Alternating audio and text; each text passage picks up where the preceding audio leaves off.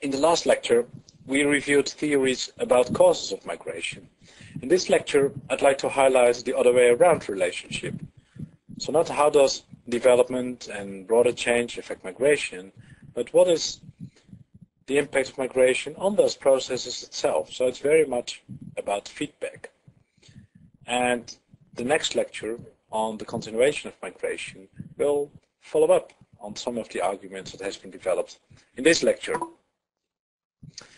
Now, this is an issue, migration development, that has received a lot of attention in policy over the last 10 years. And particularly remittances have been often seen as a sort of major instrument to further development in origin countries. And Devesh Kapur has even named remittances the new development mantra. The key question, why do we see this surge in interest for migration and development in general and remittances in particular? Why has this been put on the agenda recently? But second, more fundamentally, what is the actual impact of migration on development? What evidence do we have about this relationship? How does migration affect growth processes, inequality, social development, and political development in origin countries? What evidence do we have about this relationship?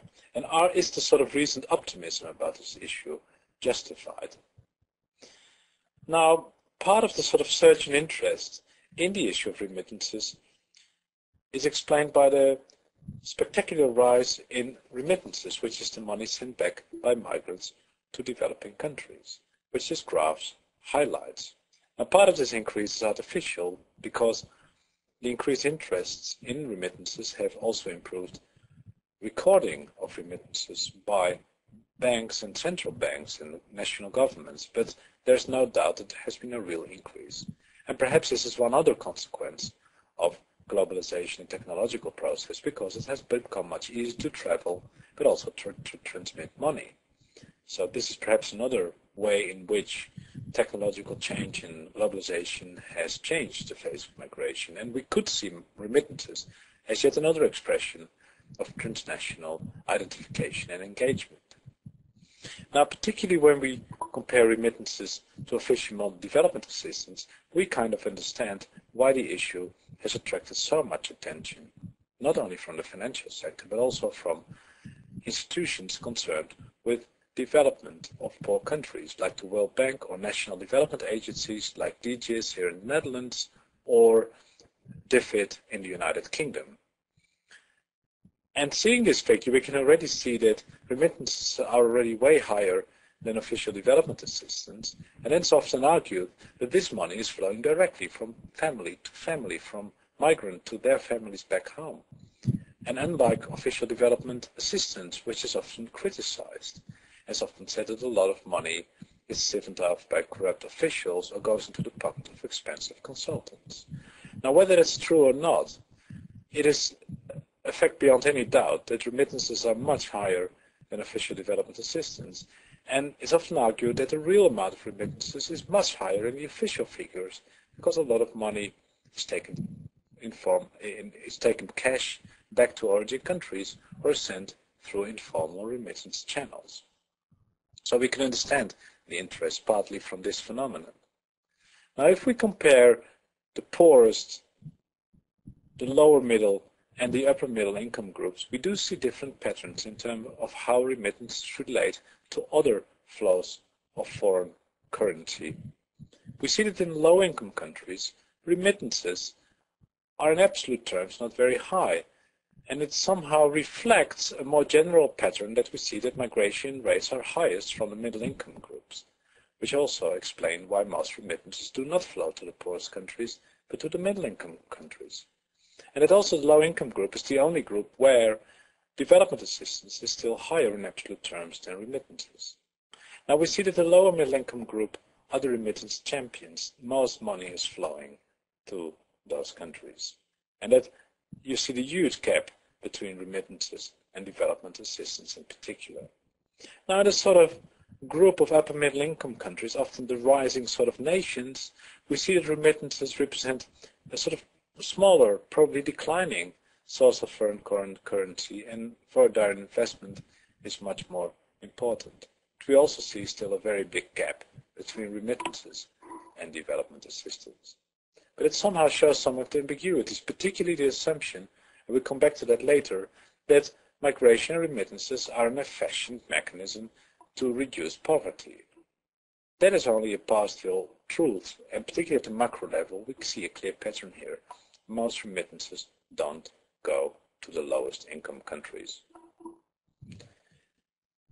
But if we look at relative dependence of countries, of the same three group of countries on remittances, we see that because gen national incomes are so low in, in, in low income countries that although the absolute level is quite low in relative terms, in terms of relative dependency, low income countries are much more dependent on average on remittances than low and upper middle income countries. And perhaps this tells us something about certain levels of dependency on remittances, which can lead to an unhealthy dependence on foreign currency. And perhaps it's the right mix, which we might see in lower and upper middle income countries, where remittances represent a much smaller share of GDP, but these countries are also able to attract other uh, uh, foreign currency sources, particularly foreign direct investment, which perhaps reflects a better investment environment. And perhaps in those circumstances, remittances could play a different role than sustaining cycles of dependency. Now, as I said, migration has really become a sort of new development mantra. And agencies like the International Organization of Migration and development agencies like the World Bank have really recently portrayed migrants as agents for development. And I think picture on the bottom right is kind of symbolizing what's often meant by this. This idea of it's not about brain drain, no, it's about migrants returning to their origin countries, bringing not only money back, but also new entrepreneurial ideas, new ways of dealing with economic development, new ways of governance and economic um, economic policies, which can really help to reform countries and create a sort of environment for takeoff development. It's been a complete reversal of the brain-drain hypothesis. The other idea, which makes migration and remittances often very attractive for policymakers, is the idea that this helps bottom-up development. The idea of migrants themselves help development, not governments are responsible. migrants themselves, they will make development. Now, as I was stressing in my conclusion, this has also been part of the critique on those theories because they shift away responsibility from states, and that the emphasis on migrants' individual responsibilities may in that sense be unwarranted and harmful. It is also useful to stress that this is not, new, not a new issue, and that there have been many mood swings in a way, in the way that the issue of migration development has been considered. And if we can say roughly until the oil crisis in 1973, migration was seen as a driver of industrialization and capitalist development in sending and receiving countries, more or less along the lines of neoclassical and developmental theories, uh, which saw migration as a great way to, to, to reduce differences in wages, to help origin countries, but at the same time also help receiving countries in the processes of economic growth because it led to a more optimal allocation of the factors of production. Then we entered a long phase of pessimism, where the dominant narrative was that migration and the undermines development in sending countries. It leads to brain drain, dependency on remittances, it leads to an appreciation of currency, because remittances um, remittances lead to an, an appreciation of, of, the, of, the, domestic currency, which weakens the export position of developing countries, which led to a very sort of grim outlook about migration and development. And it was even said by a high ILO official somewhere in the 1990s that migration and development, nobody believes it anymore. It was no migration and development, but the idea was we have either migration or development. And development is the only way to stem migration. As I've highlighted already in the previous lecture, and I will do again in the last lecture, this is a problematic assumption.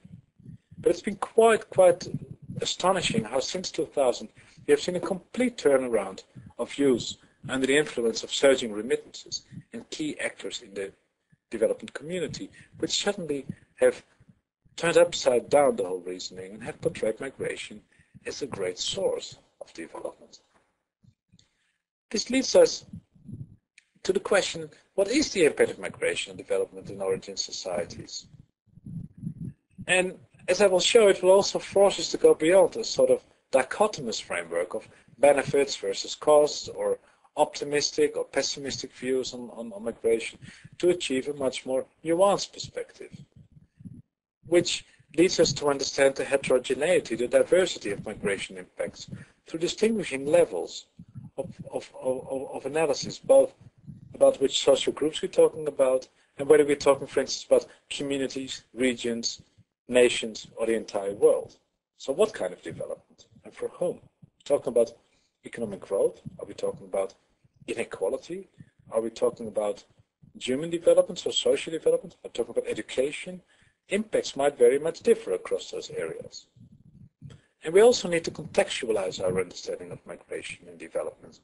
So how do the general development and investment context and institutional environments affect migration impacts? How can this make us understand why migration has more positive impacts in particular regions and countries and more neutral or negative effects in others. Now the key point of this lecture is the following, that despite their development potential, migration and remittances can neither be blamed for a lack of development, nor be expected to trigger take of development in generally an attractive investment environment. It is in this sense very important not to attribute too much importance to migration, to see migration more as a process that tends to reinforce prior conditions. Where these were positive, migration tends to uh, uh, uh, accelerate and reinforce those positive tendencies. But if the environment is very unattractive, um, politically and economically, it is very naive to expect migrants to return and invest in great numbers.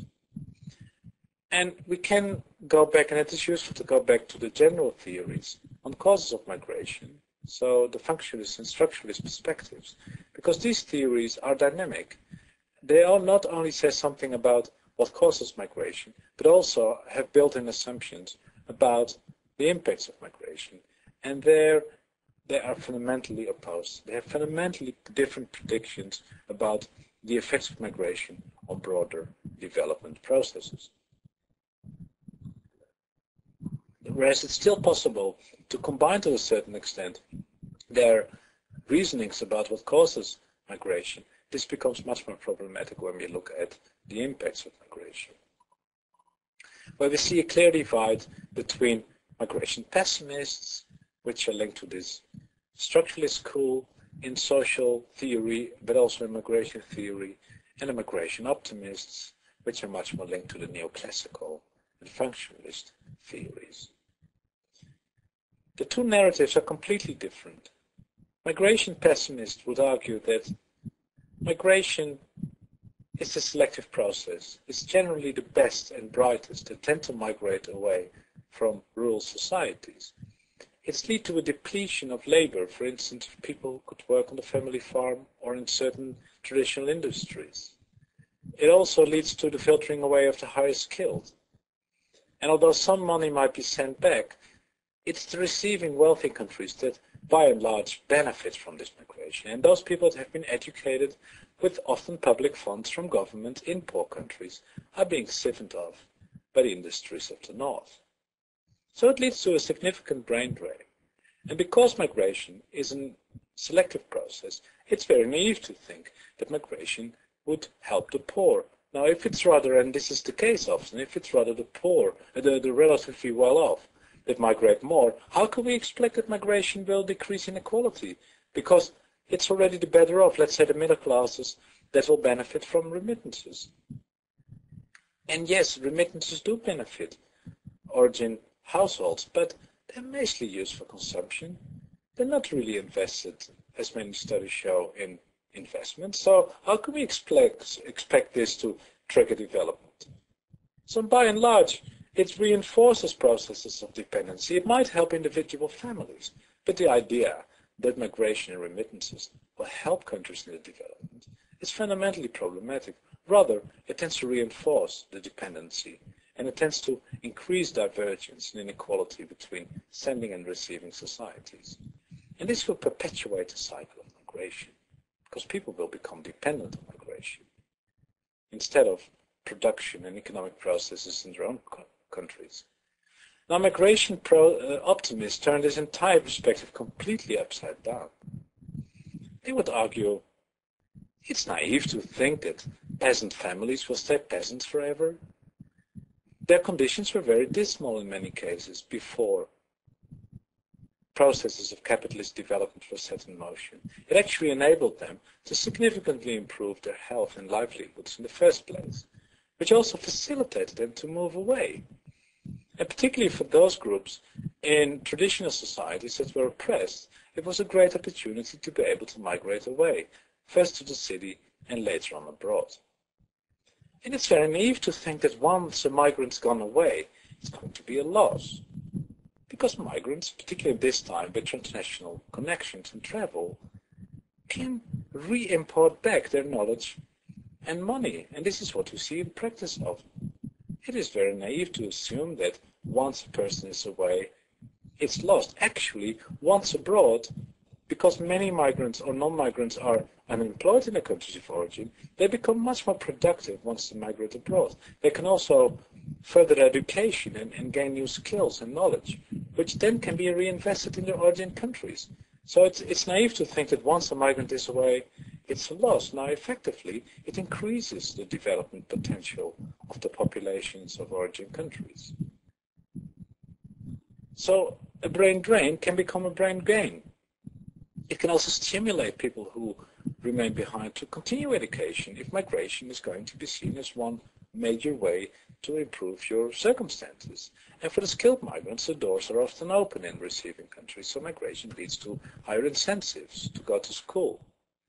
And it is naive to think that migration will just be a prerogative of the middle classes. What we often see is through network effects, that more and more migrants, uh, also from the less well-to-do groups, are able to migrate and that some of the money that's being invested by migrants and spent by migrants is going to be stimulating economic growth in origin societies. For instance, the construction of houses, which is often decried as consumption or consumptive investments, has in many origin countries led to the growth of the construction sector, which has provided a lot of employment for non-migrants as well. So these, these uh, multiplier effects explain why often outmigration areas have become relatively wealthy and thriving. So migration facilitates development. In the longer term in particular, it leads to stronger convergence. And in the end, this will also lead to less migration. So these are two completely opposed narratives. Now the problem is that the reality is somewhere in the middle and that we see more positive and more negative impacts in different contexts. And in this sense, those two big group of theories, which are still linked to the sort of structuralist and functionalist school in social science immigration theory, are too deterministic because in reality we see much higher diversity. So the new economics of labor migration, which I reviewed in my last lecture, but also affiliated approaches like livelihood approaches and transnational studies, tend to provide a much richer perspective, which have room for both agency and structure, and tend to portray international migration as a transnational household co-insurance strategy aiming to spread livelihood risks, increase income and capabilities, and overcome structural development constraints. So they de-link return and development because they stress the role of remittances, but also knowledge transfer, which is not necessarily linked to return. It can be linked to temporary return, or even transmission of ideas through communication technology. This group of theories and increasing empirical research led to growing insights on the potentially positive impacts of migration and remittances. They rejected the deterministic views of migration development as either positive or negative, and increasingly emphasized the contextuality of the development impacts of migration. And I'll explain what I mean by contextuality. But let me first very briefly review the evidence we have on migration and development. Most micro-studies seem to confirm the prediction by the new economics of labor migration that migration, particularly in poor countries, is a form of risk-spreading behavior but in many cases does lead to real incomes, in increases in income and well-being.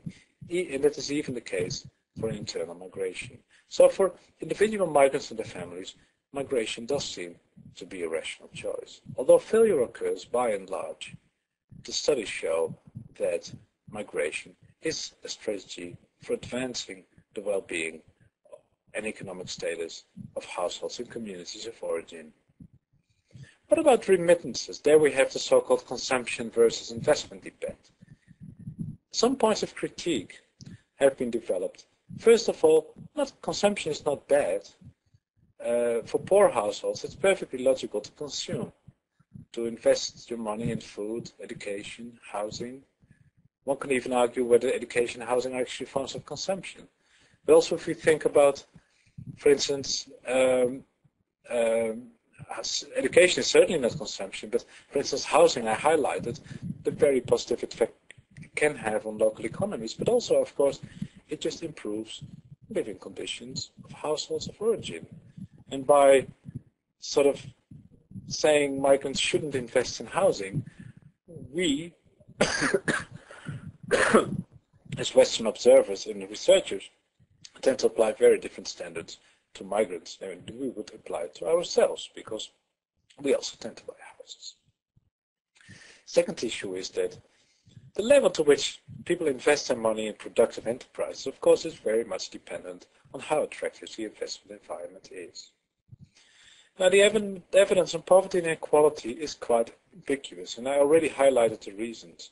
Most migrants come neither from the poorest countries nor from the poorest sections of those countries.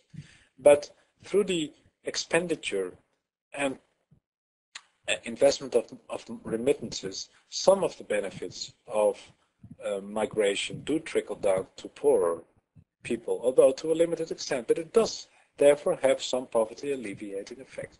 And of course, some people do manage to migrate. What about brain drain and brain gain?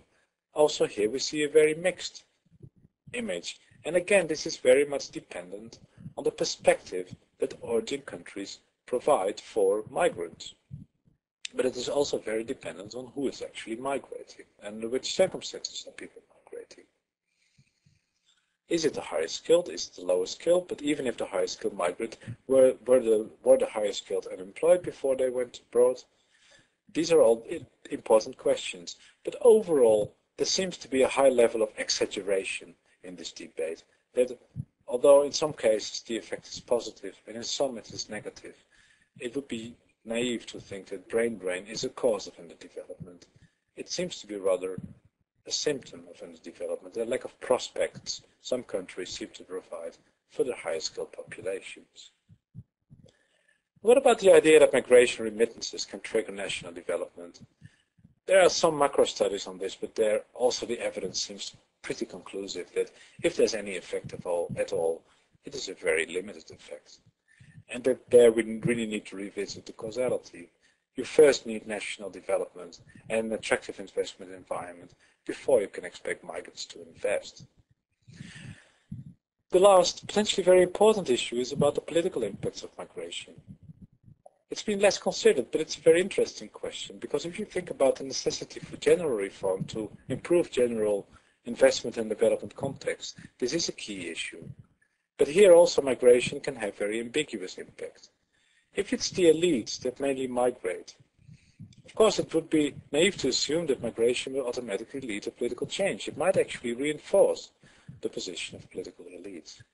But in other circumstances, migrations, migrants might form an opposition from abroad and might play a very important role in triggering political change in origin countries. On the other hand, that's the third scenario, the lack of migration opportunities may also increase the pressure on governments to change. So if unemployment goes up and there's no safety valve in the form of migration, this might, of course, turn people's attention inward. And this might perhaps have played an, a, a role in triggering the Arab Revolution in a country like Tunisia, because due to the economic crisis in Europe, migration opportunities were limited.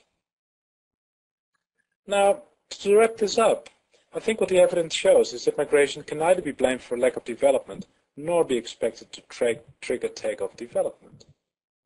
and that despite their considerable benefit on the micro level, and to a certain extent on the regional level for individuals and communities, it would be naive to assume that migration alone cannot, can remove structural development constraints. If states fail to implement reform, migration is very unlikely to fuel development, and actually it can sustain situations of underdevelopment, where migration can be a very effective mechanism for our origin country governments to vent off any pressure and to prevent pressure for reform. The flip side of this is that if development takes a positive turn and reform occurs, migrants are likely to reinforce those positive trends because they're the first one to recognize change and they do have this transnational knowledge and language skills. They will be the first to recognize opportunities and to invest in return.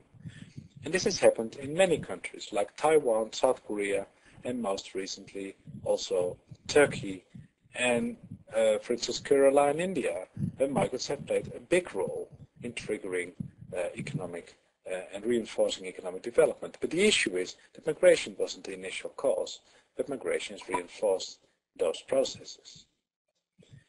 This brings me to the sort of initial issue I started with, that migration has been put very high on the political agendas.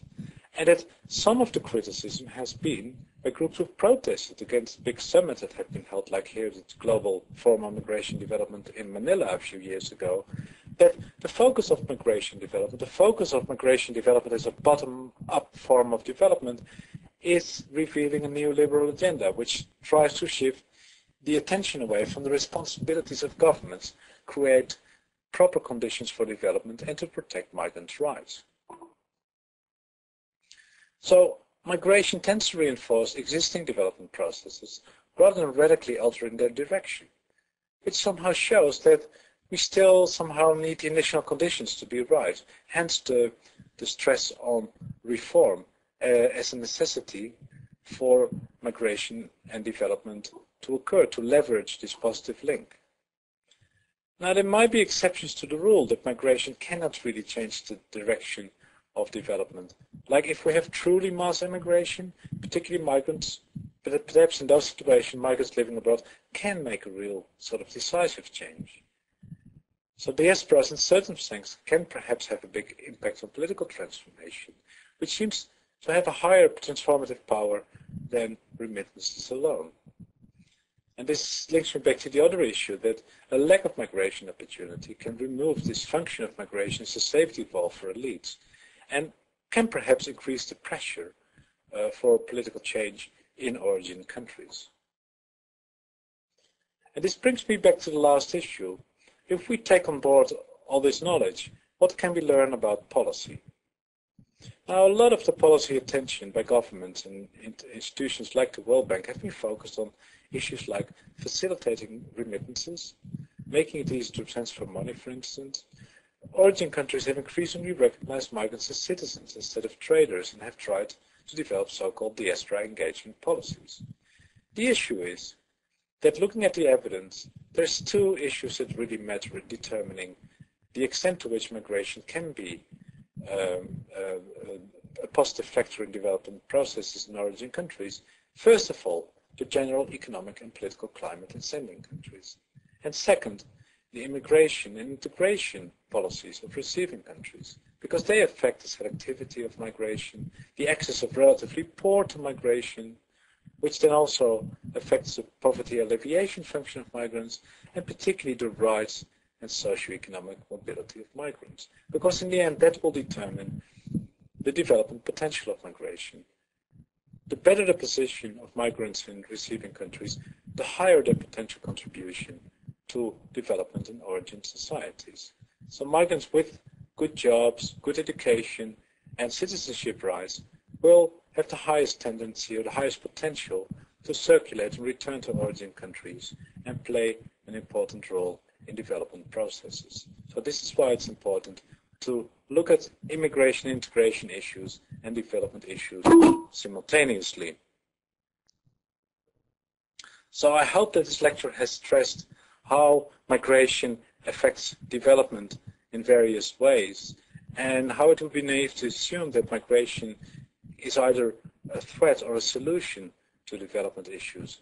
bringing me back to the broader issue that migration needs to be seen as an intrinsic part of broader development processes, and that the nature of those development processes, whether negative or positive, and the nature of migration processes, whether it's the elites or the relatively poor that can migrate, and how their position is in receiving countries will also fundamentally condition the types of impact migration can have on development processes in origin countries.